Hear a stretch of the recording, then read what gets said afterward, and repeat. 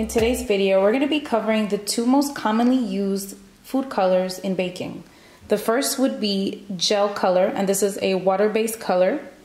And the second is candy color, and this is an oil-based color.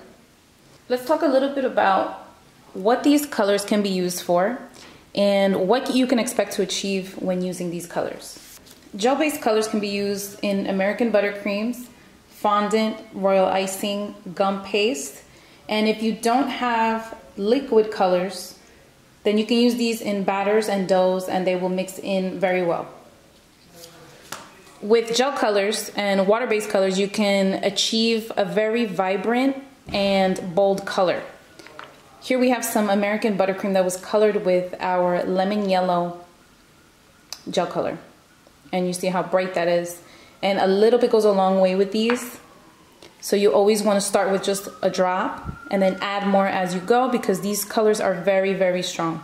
When it comes to candy colors or oil-based colors, these work great with products that contain a high fat and oil content. So if you are coloring a Swiss meringue buttercream, that is a buttercream with a very high fat content. So you want to make sure you use oil-based color versus gel-based color. And what's going to happen is the oils and fats in our oil-based color will bond with the fats in your Swiss meringue buttercream, for example. If you were to use color gel in your Swiss meringue buttercream, the water is actually repelling and not bonding, properly bonding with the fats in your buttercream. You're gonna notice that even if you use a whole bottle, you're still not gonna achieve uh, the desired color. So you wanna go ahead and use an oil-based color so that you can achieve that beautiful bright color that you like. Here's an example of a high fat. This is a Swiss meringue buttercream.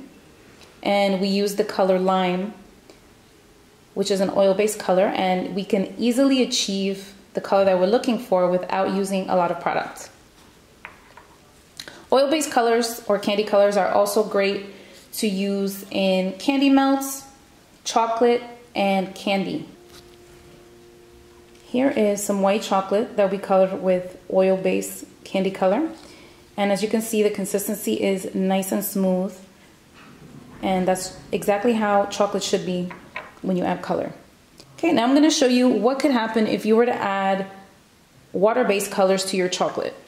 Here we have some chocolate that we added orange gel color to and it caused the chocolate to curdle and seize. If you're gonna be creating some cake pops, you wanna make sure that you're using candy colors to achieve the color that you are looking for without ruining your chocolate.